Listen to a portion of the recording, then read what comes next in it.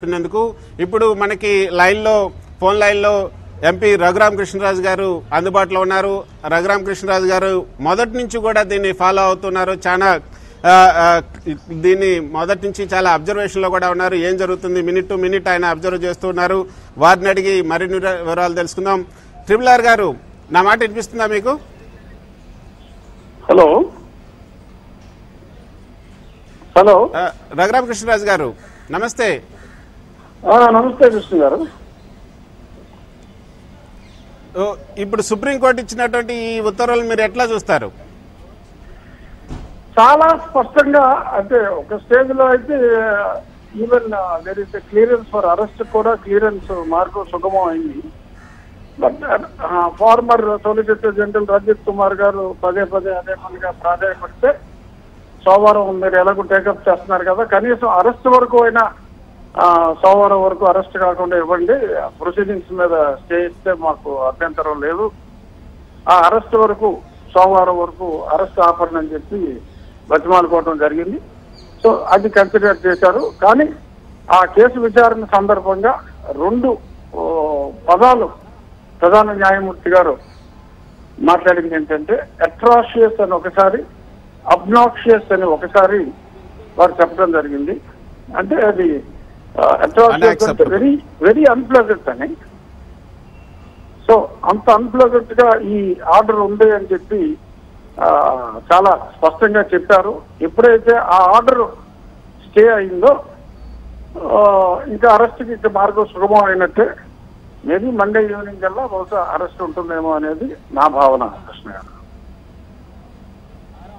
అయితే మీరు చూడండి ఆ, రఘురామ కృష్ణరాజు గారు ఈ వాదనల సమయంలో కూడా సిద్ధార్థ లుద్ర సునీత తరపున చేసినటువంటి వాదనించినటువంటి సిద్ధార్థ లుద్ర కూడా చాలా గట్టిగా వాదించారు. అసలు ఈ యొక్క హైకోర్టు ఇచ్చినటువంటి మధ్యంతర ఉత్తర్వులపైన కూడా ఆయన అభ్యంతరాలను కూడా వ్యక్తం చేశారు. ఆ సమయంలోనే సుప్రీంకోర్టు కూడా కొంత అసహనాన్ని కూడా వ్యక్తం చేసింది హైకోర్టు. హైకోర్టు ఇచ్చినటువంటి ఉత్తర్వులను పక్కన పెట్టడమే కాకుండా స్టే ఇవ్వటమే కాకుండా అసలు ఫర్దర్ ప్రొసీడింగ్స్ పై కూడా స్టే ఇస్తామని కూడా చెప్పింది. దీన్ని ఎట్లా చూస్తారు అవును. అవును అది చాలా ఎందుకంటే ఈయన చాలా స్పష్టంగా లోత్రా గారు వినిపించింది. అసలు క్వశ్చన్ ఒక ప్రశ్న పత్రం లాగా ముందే రెడీ చేసి ఆయనకి ఇస్తే అప్పుడు ఆయన సమాధానం చెప్తారట అని చెప్పి నవ్వుతూ అంటే అంత హాస్యాస్పదంగా ఉంది అని చెప్పడం జరిగింది వీళ్ళ విధానం. అది ఆయన ఆర్డర్లో కూడా పెట్టారు. అండ్ కొన్ని కొన్ని కొన్ని విషయాల్ని సంబంధం లేని విషయాల్ని ఈయన పరిగణలోకి తీసుకుని అంటే పరిగణలోకి తీసుకోకూడని విషయాలు కోర్టు పరిగణలోకి తీసుకోకూడని విషయాలను కూడా ఈయన పరిగణలోకి తీసుకున్నట్టుగా ఆయన ఆర్డర్లో పొందుపరచడం జరిగింది.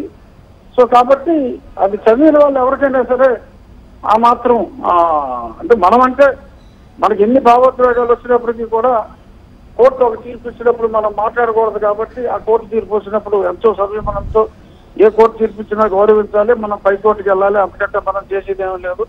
ఆ పై కోర్టు తీర్పు వచ్చే వరకు కింద కోర్టు తీర్పే మనకు శిరోధార్యం అని అనుకున్నాం. కానీ ఇప్పుడు పై కోర్టు అంత స్పష్టంగా అట్రాషియస్ అండ్ అబ్లాక్షియస్ అని చెప్పి చెప్పిన తర్వాత అంటే అంటే కృష్ణ గారు మనం ఏదైనా ఒక వాసన దరిద్రంగా ఉందంటే అబ్నాక్షియస్ ఆర్డర్ అని అంటాం. సో అలాగా ఈ ఆర్డర్ అబ్నాక్షియస్ ఆర్డర్ అంటే అతి దరిద్రమైన ఆర్డర్ అని చెప్పి చెప్పినట్టు. ఈ ఒక హైకోర్టు ఆర్డర్ని జనరల్గా ఆర్డర్ సెటిసైడ్ చేస్తారు not in line with jurisprudence అని అంటారు తప్ప ఈ స్థాయిలో ఇంత తీవ్ర స్థాయిలో జనరల్గా స్టేలు అన్ని మందర స్థాయిలో ఉంటాయి. ఇంత తీవ్ర స్థాయిలో ఉండటం అత్యంత అరుదు. అది ఈ కేసులో అంటే మాట్లాడవలసి ఇప్పుడు చెప్పండి. రఘురామ కృష్ణరాజు గారు ఇప్పుడు మీరు అన్నట్లుగానే ఇప్పుడు సుప్- హైకోర్టు ఇచ్చినటువంటి మధ్య ఉత్తర్వుల్ని అట్రాసియస్ అండ్ అన్యాక్సెప్టబుల్ ఆర్డర్ అంటూ సుప్రీంకోర్టు అది ప్రధాన న్యాయమూర్తి డివై చంద్రచూడ్తో కూడుకున్నటువంటి ధర్మాసనం వ్యాఖ్యానించడం అంటే ఈ కేసు మీద ముఖ్యంగా వివేకానంద రెడ్డి హత్య కేసు మీద సుప్రీంకోర్టు చాలా సీరియస్గా ఉంది అని అనుకోవచ్చా? అనుమానమే లేదు. సుప్రీంకోర్టు చాలా చాలా చాలా సీరియస్గా ఉంది. ఇంకా లోవర్ కోర్టులో ఈ ఇక్కడ అంటే హైకోర్టులో పదే పదే చిలిపి చిలిపి కేసులు వేస్తే వాటిని ఈ బెంచ్కి ఆ బెంచ్కి అని చెప్పి ఇచ్చుకుంటాం. ఇటువంటివి ఇంకా బహుశా ఉండవు. ఐ డోంట్ థింక్ ఇంకా ఇక్కడ మళ్ళీ ఛార్జ్ షీట్ ఫైల్ అయ్యేదాకా ఇంకా ఎటువంటి చిలిపి రిక్వెస్ట్లు ఉండవని నా భావన. అయితే ఇప్పుడు మరి ఇంకా ఇక మీదట మొదట్లో ఏవైతే తప్పించుకోవడానికి అనేక ప్రయత్నాలు చేశారు కేసు దర్యాప్తును కూడా జాప్యం చేయడానికి కూడా అనేక ప్రయత్నాలు చేశారు. పులివెందల కోర్టు నుంచి కడప కోర్టు కడప కోర్టు నుంచి హైకోర్టు హైకోర్టు తర్వాత మళ్ళీ ఇప్పుడు తెలంగాణ హైకోర్టు సిబిఐ కోర్టు ఇవన్నీ తిరిగారు క్వాష్ పిటిషన్లు వేశారు వాటన్నిటిని కూడా కొట్టేశారు. తర్వాత బెయిల్ పిటిషన్ దాకా వచ్చారు. సో బెయిల్ పిటిషన్ పై కూడా ఇప్పుడు హైకోర్టు ఇచ్చినటువంటి మధ్యంతర ఉత్తర్వులపైన సుప్రీంకోర్టు సీరియస్ అయిన ఈ యొక్క సమయంలో ఇక అవినాష్ రెడ్డికి మొత్తంగా పూర్తి స్థాయిలో ఆప్షన్స్ ఆప్షన్స్ అన్ని కూడా క్లోజ్ అయిపోయినాయి అనుకోవచ్చా? అంటే అన్ని దారులు మూసిపోయినాయి. ఒక్క సాక్షిలో రాసుకునే దారి అలాగే అలా సొంత పేపర్ రాసుకుంటారు తప్ప న్యాయపరంగా అన్ని దారులు ఇంకా మూసిపోయినట్టే.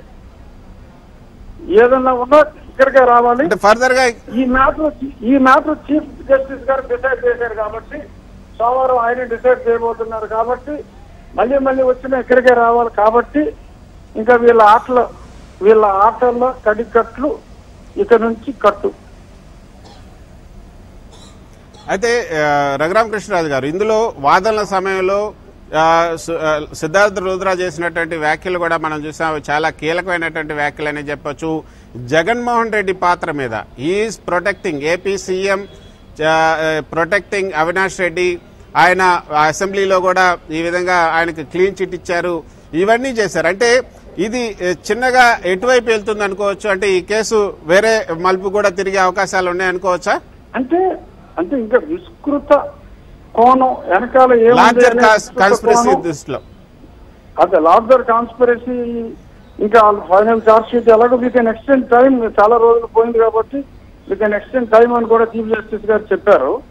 సో డెఫినెట్గా ఇంకొక పదిహేను రోజులు నెల రోజులు టైం ఇస్తారు. వీళ్ళు తినేసిన టైం మళ్ళీ ఎక్స్ట్రా ఇస్తారు. బహుశా మా వాళ్ళు మా పార్టీ వాళ్ళు అనుకున్నది ఏంటంటే మా పార్టీ అని ఎందుకు అంటున్నానంటే ఈ వైఎస్ఆర్ సిపి అఫీషియల్ వెబ్సైట్లో ఈ మధ్యన ఈ ఇవన్నీ ఫ్లైట్స్ అన్ని పెడుతున్నారు కాబట్టి మా పార్టీ వాళ్ళని నేను ధైర్యంగా చెప్తున్నా. మా పార్టీ వాళ్ళు అనుకున్నది ఏంటంటే ఈ ముప్పై తారీఖు దాకా ఏదో టింగు దిక్కు అని చెప్పి ఎలాగకుండా చూసుకుంటే తర్వాత చార్జ్ షీట్ ఫైల్ చేస్తే చార్జ్ షీట్ ఫైల్ అయింది కదా అని చెప్పి రక్షించుకోవాలని అనుకున్నారు. ఐ థింక్ అది భలే ఎత్తు చివరికి చిత్తు ఓకే అయింది. Thank you thank you Raghurama Krishnaraju గారు మీరు. Phone line